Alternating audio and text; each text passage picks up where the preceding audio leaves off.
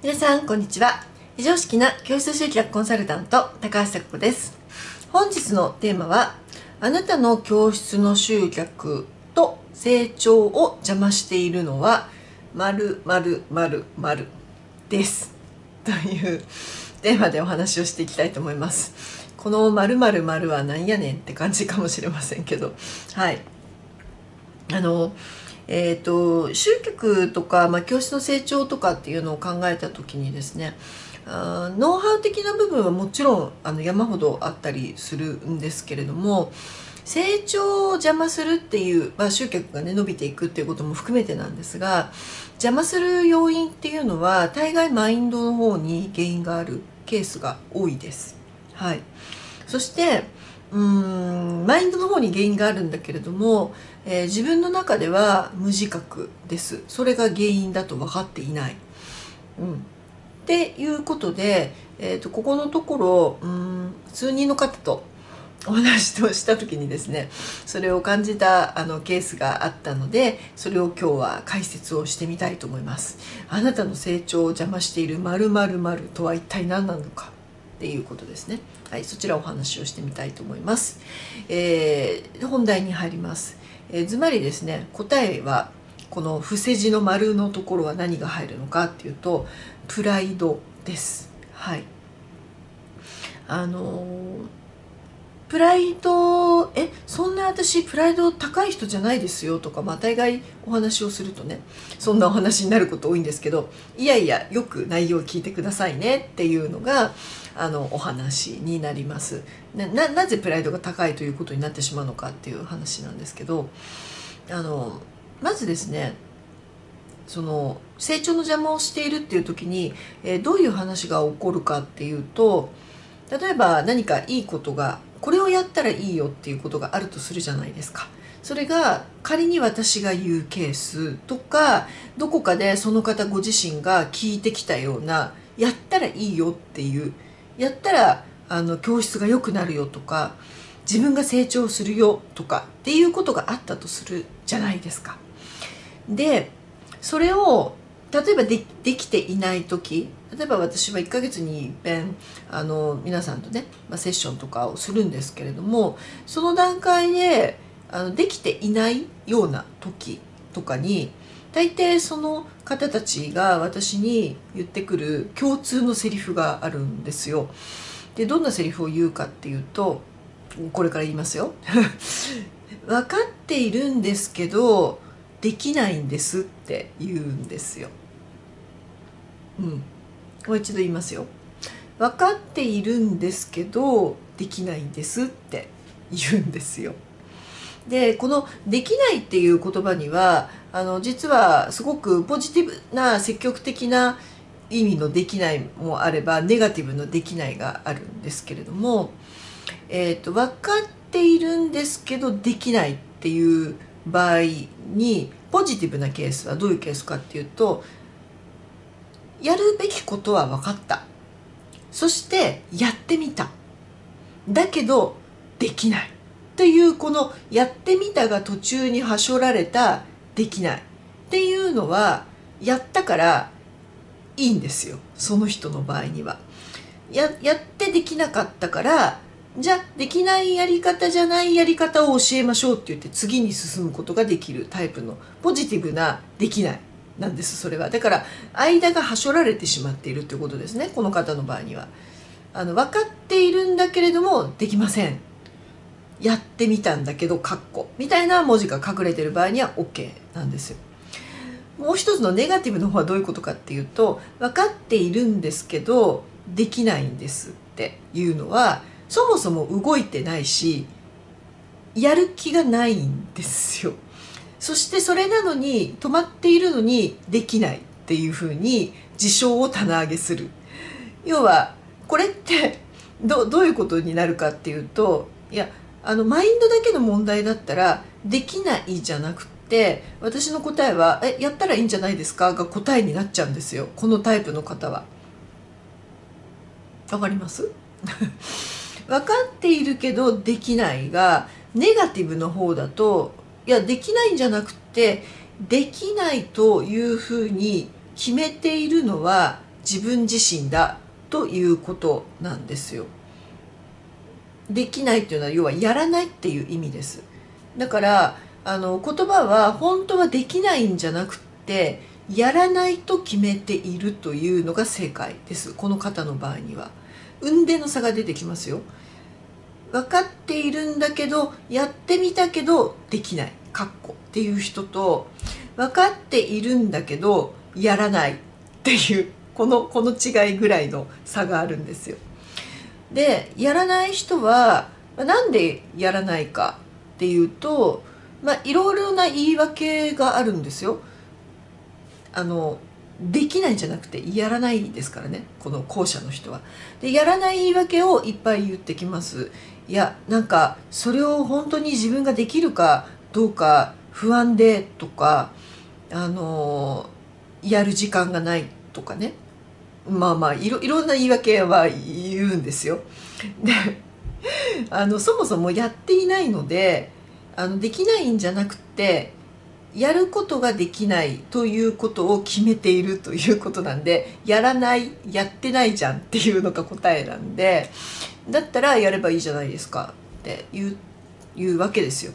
ね、この辺りがちょっとだんだんおかしいなとかって思ってきてもらえたらそこは感覚が似てると思うんですけれども私とね。あのやらないって決めてるんだから決めてる自分がやると決めればいいわけ。なのにやらない。それなのに私とお話をする時にはいやそれはこういうことだからやったらいいんじゃないですか？って言うともう一回畳みかけるように分かってるんですけれども頭では分かってるんですけどできないんですって言うんですよ。いやそれは分かってることにならない。腹落ちしてないし頭で分かってるっていうことを頭にねつけることによってできないというやっていないという自分を正当化してるんですよねそこで。正当化っていうのはどういうことかっていうと頭で分かっているというふうに言うことによって分かっているというレベルのとこまで私できてるんですよということを私に伝えることになります。この辺り分かります？あのそもそも分かってないからやらないですよね？が私の主張なんですよ。そうすると分かっているんだけれどもっていうふうに言って伝えてくるわけですね。だから分かってるんだよっていうそこまではできてるっていう自分をアピールしたいということになります。なので結果どういうことになるかっていうとそういう方はプライドが高いということになってしまうわけですよ。分かってない自分を認められないしそれを言いたくないからです。分かってないしできない。って嫌じゃないですか。だから分かってるんだけどできないんじゃなくて分かってるけどやらないになる感じになるんですよね。でしかもももっと言ってしまえばその方っていうのはやらないって決めてるからそもそもそれがいいことで自分の成長のために必要だということすら分かってないということになります。はい、だからあのそういう方は分かってるんだけどっていう枕言葉はいらないっていうことなんですよ。やらないと決めたっていうだけの話なのであの、相談の内容がだからあちょっと矛盾してるんですけれども分かってるんですけどできないんですっていうふうに言うだから自分は悪くないんですっていうアピールなんですよ自分は分かってるけどできないっていうどこか違うことに原因を押し付けているんですよね。じゃあその原因って何なんですかっていう話でできないんだったらじゃあ何があの環境が整えばできるんですかっていうと答えられないんですよ。だって自分でやらないってことを決めてる人だからです、はい、だけど他者の誰かの圧力がかかってるかのごとく分かってるんですけどっていう言い訳をつけるわけですよ。でその方はどちらかというとプライドが高いということになります。無自覚的にですけどね。だからあの成長する時ってもうそういうものっていらなくて自分が信じた人がそうと言った。ないしは自分が信じる思想でそういうのがいいよって言ったら行動するだけなんでそこには分かってるんですけどっていう言葉いらないんですよ。うん、だからこの言葉をよく言う方は結構注意です。はい。あの分かってないんですよ。私から言わせると。いや分かってるんだったら動動けばいいじゃないなだけなんであの全部自分で動かないっていうことを決めてるんだけど正当化したいから分かってるっていう言葉を使うっていう自分を分かった方がいいです それこそ。うん、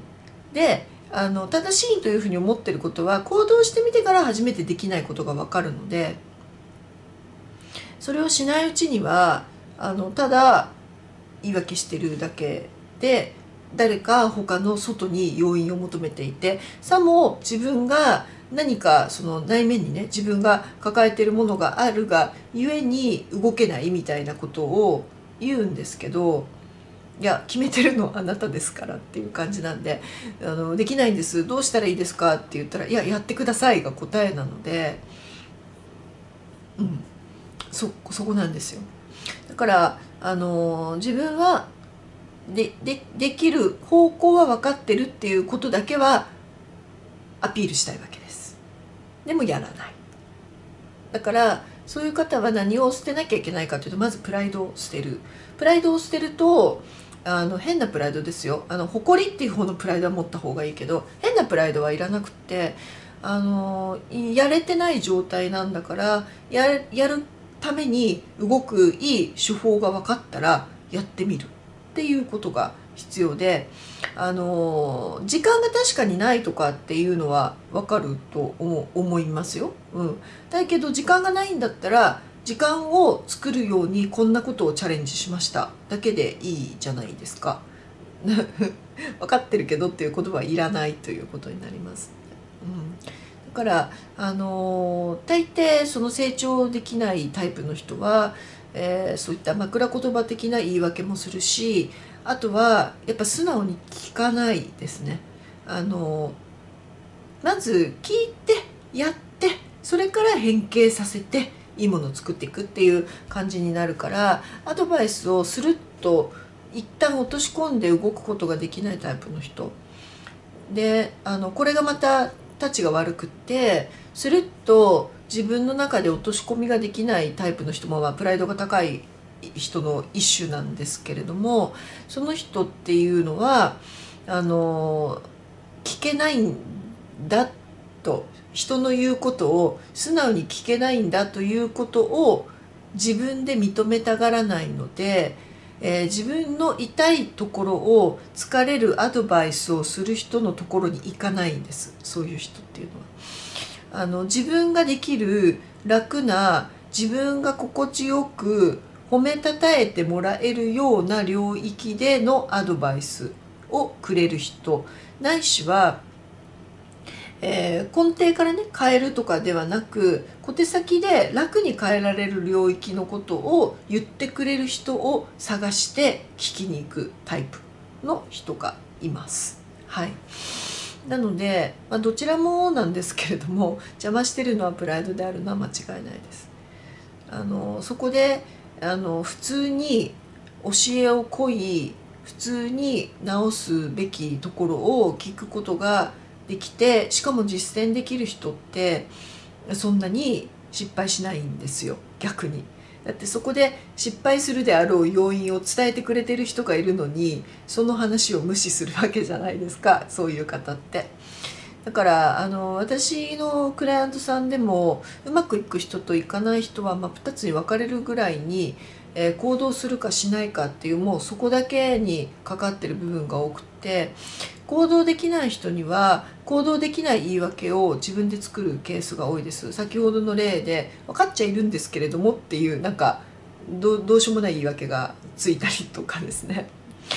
あの言われたこともだから分かっちゃいるんですけどって じゃあなんでやらないのっていうそその領域になっちゃうとあの別に私の言うこと聞かなくても全然いいんですけど